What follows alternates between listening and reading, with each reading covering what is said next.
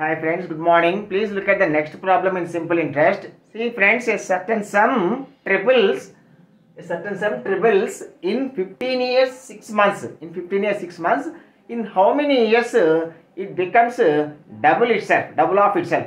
See friends, uh, triples means, triples means we know if p is equal to 1, a is equal to 3, 1 becomes 3, then it is triple.